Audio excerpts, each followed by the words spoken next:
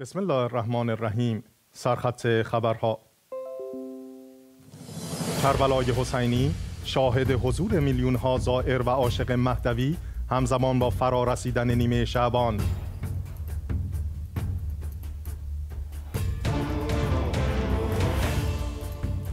نتایج تحقیق جدید دانشگاه کلرادو ایران رتبه دوم فرونشست جهان شد